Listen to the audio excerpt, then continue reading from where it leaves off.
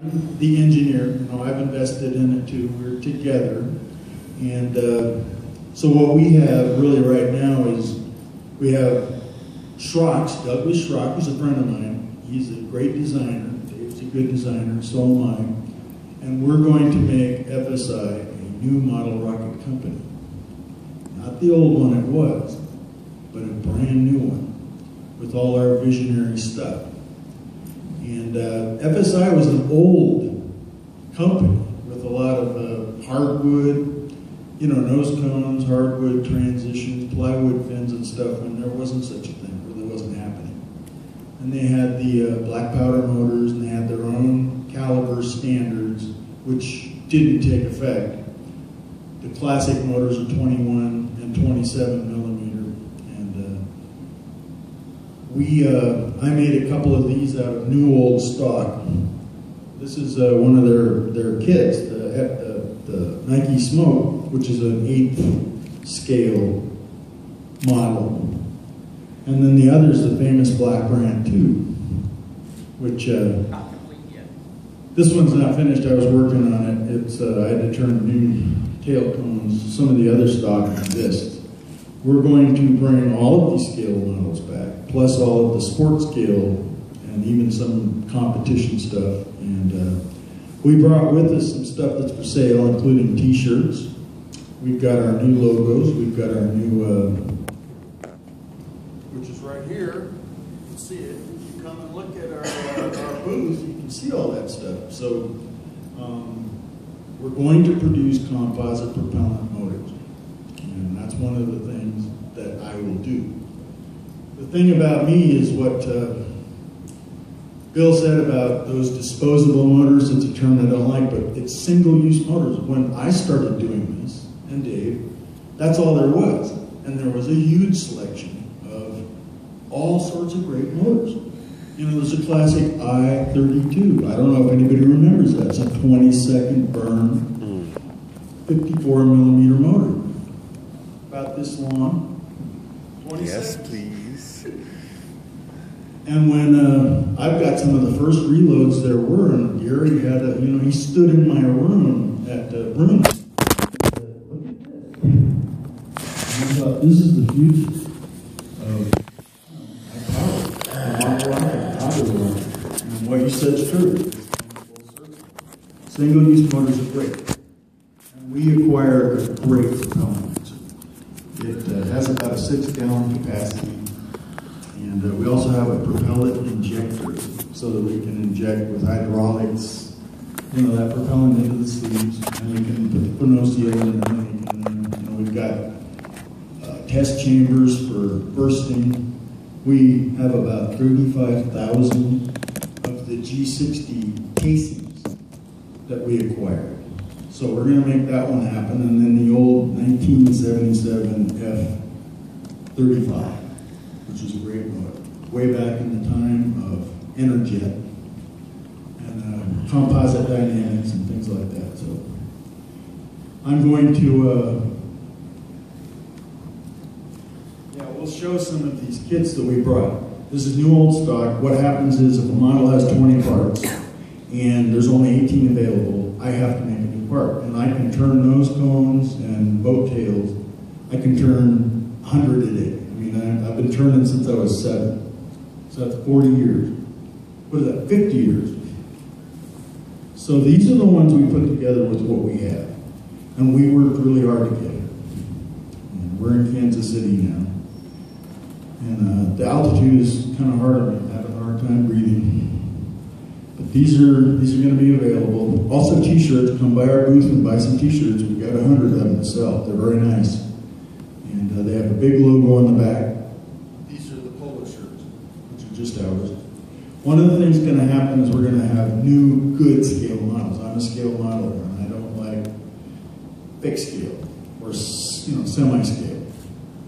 And I also cast and machine things. So what we're going to do is introduce new scale models with cast details. And one of those scale models I brought is a Nike Orion, which I got from Peter Alway's Designs. And it's, uh, I think it's a one point, it's one, it's one 7.2 scale. and it has great cast details on it. And this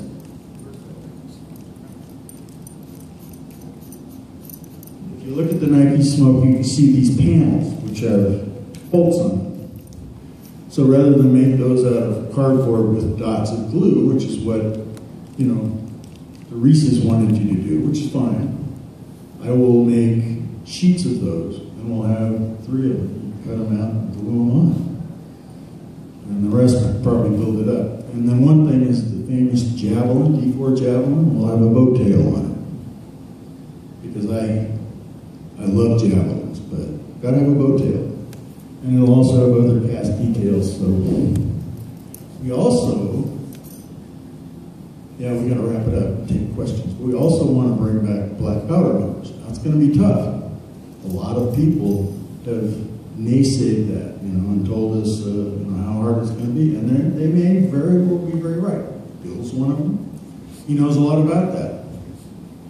But we have all the, every, all the machinery to make those motors. We have to set up a mill. And we have to get the, you know, the safety right. We have to get the legal, you know, we got to get the permits and all that kind of stuff. Maybe it's going to be impossible. Who knows? But the famous motors, the F100, the F7, the E60, the uh, D18, the D20, the F, I mean the E5, those are all the famous motors. I still have dozens of them, and other people do too. And even though they're not certified or anything like that, you know, at the kind of old launches, you know, the old stuff, they fly them. And they still work as long as they haven't been temperature cycled or dropped. So, anyway, that's what we're going to do. And it's going to happen. We have a website. It's not up and running yet. We have a, we have a shop. We have an office. And we have, you know, a lab, if you will. We got a lot of parts. We got a lot of uh, dedication. And I'm retired. You know, I'm a guitar maker. Most people who know me know what I do. So it, I'm just going to kind of turn it over to, you know, to Model Rocket Productions. So any questions?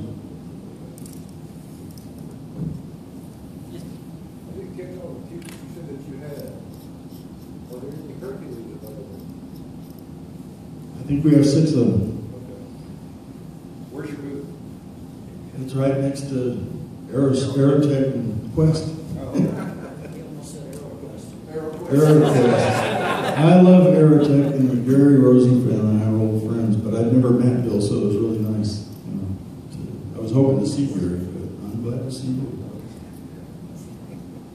We're going to wrap this up real quick. Uh, our website is uh, www.flyfsi.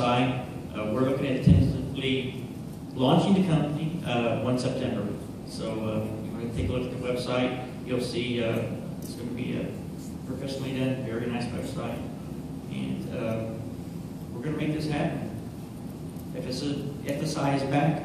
We are returning to flight. Yes.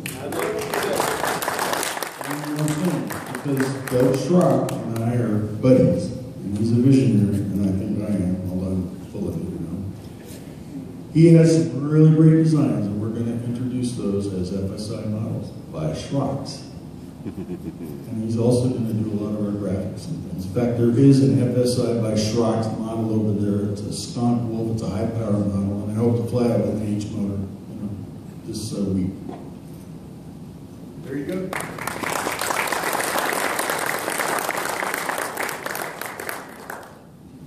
All right. Next, we'll have a representative from ARA Press.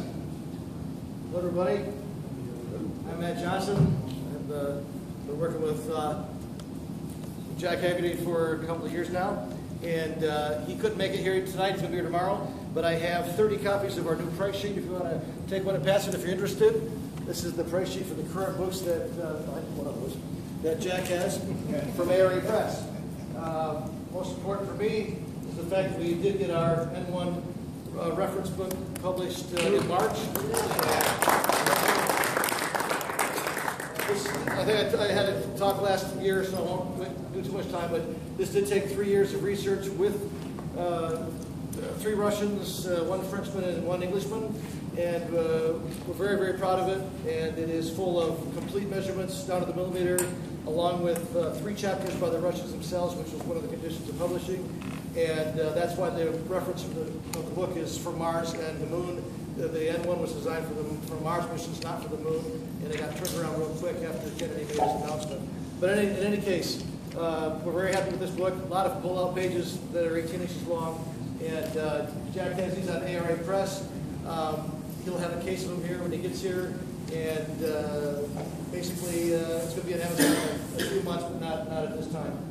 Uh, one thing about the uh, N1 project that uh, might not be known completely is that uh, the gentleman from England who did all the CGI work uh, is immaculate for production. Uh, we took four of his favorite images and made posters out of them. They're 24 by 36. Uh, any of the books that were sold off the initial Kickstarter, which thank you by the way for one of the Kickstarters, uh, those are available uh, by ordering to me uh, uh, on my email address. And uh, also, the other part of the production that came out is the CD of research material that was authorized by the Russians let us publish. This includes photographs that have never been seen except in this book as little photographs. And of course, all the drawings from Nick, the CGI gentleman, and my measurements that were done on AutoCAD uh, measurements from Alex, the historian. So uh, I have those, that information, but again, it's uh, simply my email address, and uh, I have produced these, I think I've sent out about 20 discs so far, so they've been very popular. For some reason, the posters aren't selling that much, don't know why, but uh, we got the posters. Uh, One other thing is, if you know uh, how the the history of the N1 project started with Alex Lipinski doing the measurements out in uh, Baikonur with the Children Research Group, he made the AutoCAD, he made the blueprints, and um, he is still willing to sell the AutoCAD if people are interested in in, uh, securing it. So uh, it's $100 a shot, but he does have the AutoCAD, and he will sell it to you personally if you contact me about that. So I wanted to let you know that it's still possible.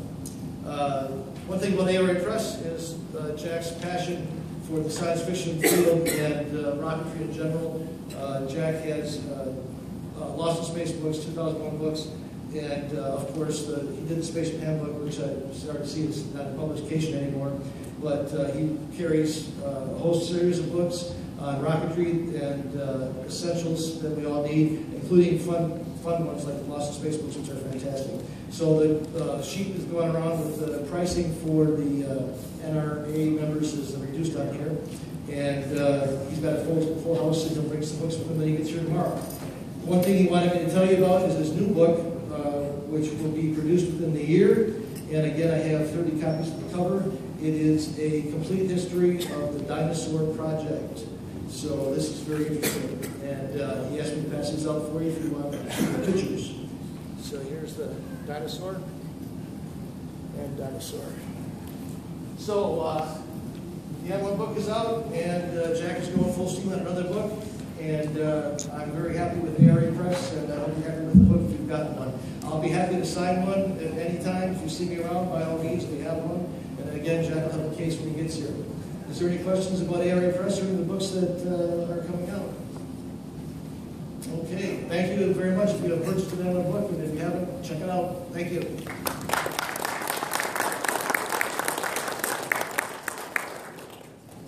Matt.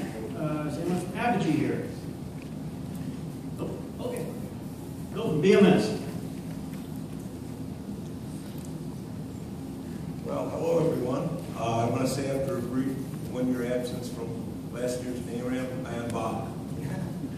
Um, I want to talk a, a bit about uh, our, our move that transpired last year, which is why I, I was absent last year's NARAM. Before that, I want to touch on some of the things I've got in the field. I'm going to be here all week. Uh, I've got virtually ev- every motor except for some L's and M's that Aerotech has. Um, I've got my assortment of nose cones, body tubes, uh, launch lugs, the usual, uh, pot array of parts that typically is brought uh, to all past NARAMs. Uh, and I'll be at, I'll be in the field every day uh, for the duration. I'll probably leave sometime Friday, but um, up until then, I'll, I'll be there. Um, I should, uh, for those people, the few people out there that may not know me, I'm Bill and together with my wife Mary Ann, we are Balsa Machining Service. For almost almost fif- 15, 18 years, I I was track, we operated out of our house in uh, Chicago Silver. Last year, we made a major move, shutting down around mid-May. I drove three 26-foot Penske trucks to a town about 50 miles west of Las Vegas where we, we reside right now. Um, We moved from garage, an outbuilding, and a basement, and another, another outbuilding to a 36 by 90 foot metal building in the, in the rear of our property. We just recently broke ground for a house in the front. Uh, We're renting a house elsewhere in town right now. We made this, made this move because we just, we were busting at the seams. It was very difficult uh, to continue any, any kind of growth. It's really hard when you're operating out of your house to even hire employees because you gotta bring people into where you live, and uh, there there just wasn't any room. I shop where if two people were working in it, we were bumping into each other. Things were so, so, so crammed together. Now I've got all kinds of space. Not a lot, not a ton of space, I probably would have more, because things you have just, just fill up every, every available square inch. One of the things that, uh, that transpired in the move was you take a, a hard look at what you've been doing. When you've been doing it for so many years, you say, okay, where, where's the core competency of what I'm doing? Where do I want to go in the future? I started, as many of you, as many of you know, making uh, balsa wood nose cones on a uh, self-designed CNC machine. And that was good, that was good for a while, and all I needed to make was some semi-custom cones, stock cones, uh, 50, 100 at a time. Uh, NC machines are great. You've got this, this machine, all you need, need is a computer file, you've got a nose, but it's got a problem. It's slow. Realized that when I was needed to do more volume, so I duplicated, I built another uh, NC machine. Well, two NC machines, well, they was, that machine was just as slow as the first one, so now I was, I had double the capacity, but still not enough, so I bit the bullet some years back and did a plunge grinding machine where I can now really crank out the quantities of, of those cones. You, you've seen uh, those cones, I've been selling them for, for some time now. Um, we're gonna, we're gonna continue to, to make those cones. Um, we're gonna continue to sell parts that we have. We're gonna downplay uh, some of the kits. We, we never made a lot of kits, but we're gonna further downplay that and concentrate on building parts for the hobby uh, market. We've got three main markets that we address. You folks out there, you know our website. Most of you buy from us now through, through that site. We also supply, have from the beginning supplied TARC. We're going to continue to do that. TARC's very important to us. Um, in fact, our shutdown last year was timed so that we shut down just before the TARC finals when typically the teams stop buying parts. Don't buy, don't really buy anything during the months, the latter part of May or June, and that, and that's when I drove all the trucks out west. Uh, Brought the website back up, uh, and, and we're going strong. The other, the other aspect business is, uh, we sell a lot of parts to other kit manufacturers. There, there's not a lot of manufacturers out there who just, just make the components.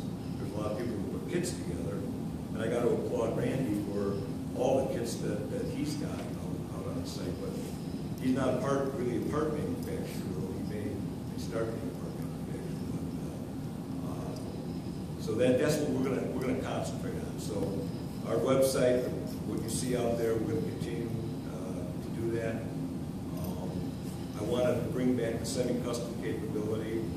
Um, we're gonna, we're gonna do that, uh, at some point. Um, We're working, I'm actually working on, uh, on yet a third nose cone machine. Um, The, the, the first NC machine could, could make standard shaped nose cones fairly fast for that, that type of machine. And of course, the punch grinder is really, really fast. But I could never make the intricate kind of cones, which required yet a different, a different technique. So, so I'm gonna go after that and, and uh, I actually have the parts uh, uh, to do it. I'm gonna, what I'm gonna do is take that second NC machine I did and retrofit it. So, uh, keep plugging away at our new location and uh, keep expanding the number of components that we're doing. Any questions? Yeah, I just have a comment.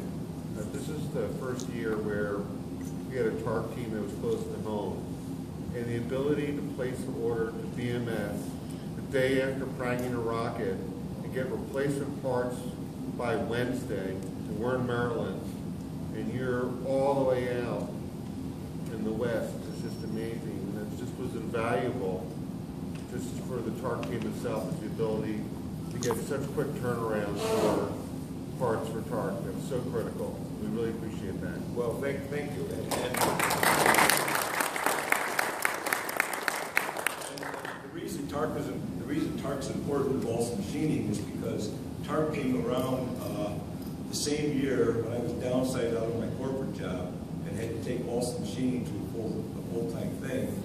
Uh, I started getting all these orders from TARC teams, which was a real shot in the arm, because uh, I don't think Balsa Machining would be around if it wasn't, wasn't for the TARC. So we, we, and we're going to support TARC going forward. Unfortunately, TARC lost a supplier of a lot of parts with Semroc uh, uh, uh, going away. Um, But uh, it- there- nobody's going to replace Carl, what he did.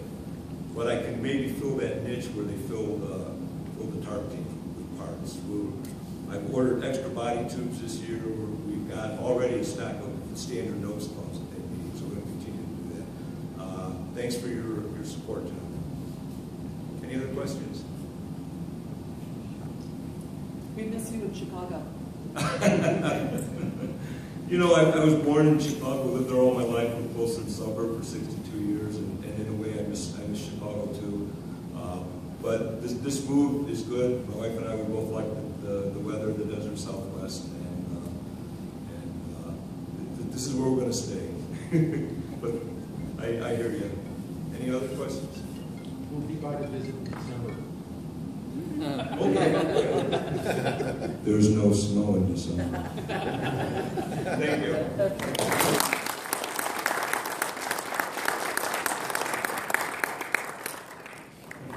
All right, we have a representative from modelrocketparachutes.com here. Nope. Okay, how about someone from LOC Precision? Absolutely. Excellent. Come on. Hello, I'm Barry Lynch from LOC Precision. I've been there 18 years now, 14 years now.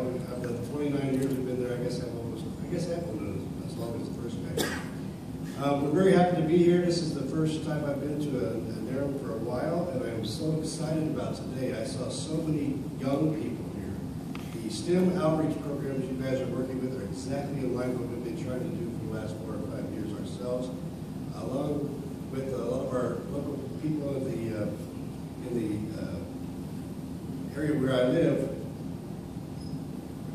The, the, the STEM projects have been uh, really, really dear to us, and I'm so happy to see all the people that came today. Uh, LOC Precision, today we actually did a couple of neat demos. We had a couple of our friends from Australia come in uh, last week to build a couple of rockets and come here to fly them for us. A couple of I-65s. It's a near and dear uh, rocket to us. Back in the 80s, the uh, I-65 motor, a Longbird Aerotech motor came out, and uh, we brought our rocket out to uh, make that happen with them. It was a great little Longbird, eight, nine second flight. Everybody's excited about it. And uh, as the motors progressed in size, that kind of fell by the wayside. I've always liked that rocket. That particular rocket flies with almost any motor I've ever put in it, and always been my favorite. But today was kind of really interesting because we were able to put a, a new Aerotech I-65 with our new version of the I-65, which has a few extra components. We've gone away from the uh, elastic shock cord to put in tubular nylon, added a couple of extra things like centering rings and a, and a, a stronger motor mount that people seem to like. And we're able to fly them side by side with the, the old I-65 motor upgraded and a, and a 165 Aerotech single, uh, single-use motor. And it was kind of a demonstration here where they show how they go off really fast with the I-65 uh, going slow and the 165 going fast with the 65 catching up and taking way off over. We really enjoyed that. I'm going to see that today. We flew uh, twice on the uh, single-use I-65. This was an interesting demonstration. It Didn't quite work exactly what we thought it would, but, that was what uh, the demonstration was about. It's all about getting them up and, showing what's going on now compared to what happened in the old. We also have been working with uh, uh, our parachute line. We have a guy here, if you're in the area, you want to stop by and talk to a guy named uh, Mark Lose. Mark was uh, trained by the Navy to make parachutes uh, back during Desert Desert Storm. He actually was a rigger on a carrier. And did a lot of work with that type of thing, and he's very, very good at making parachutes. I'd like to learn about better parachutes, bigger parachutes, stronger parachutes, and and how they deploy and what they can be done with. Combine stuff, talk to Mark. Like I say, our, our focus for the last few years has been on STEM education projects. We kind of, kind of stayed away from the commercial aspect a little bit of it. We haven't done a whole lot of upgrades. But the upgrades we have done are, are, I think, in line with what people have been asking for for years. On the larger rockets down to, we're down to the four-inch rockets now, we're putting everything into the tubular nylon range instead of the shock cords that used to, people call brawl strap. Didn't quite like that. I still like the brawl strap. I've actually tied that stuff on my motorcycle and driven over hundred miles an hour with big boxes going to UPS, and uh, they seem to stay on real fine. I've enjoyed the, the elasticity of that material.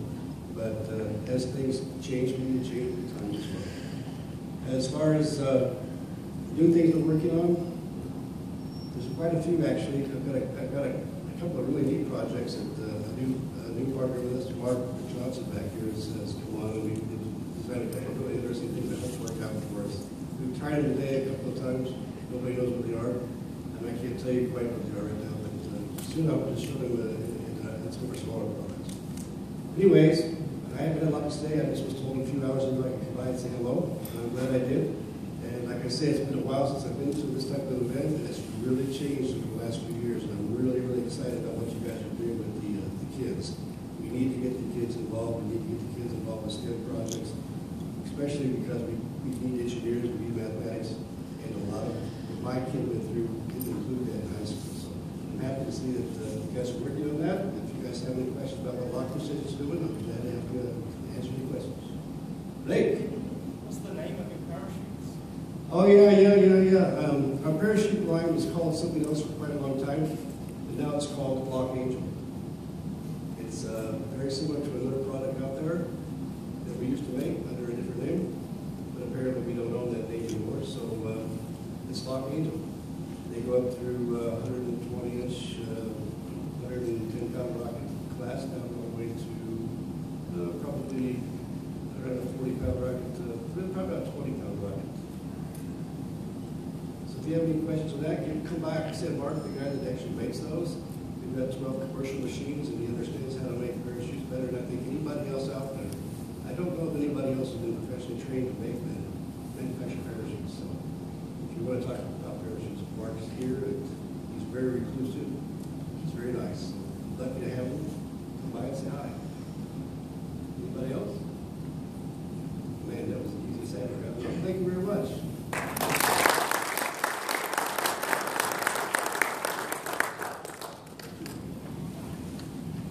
Did I miss anybody? Okay, then.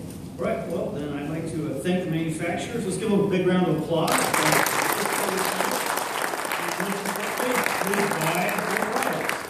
Thank you, everyone. And uh, the next uh, forum item will be the Australian group. Will be in here. They're scheduled for 10. I don't know if they'll start early, but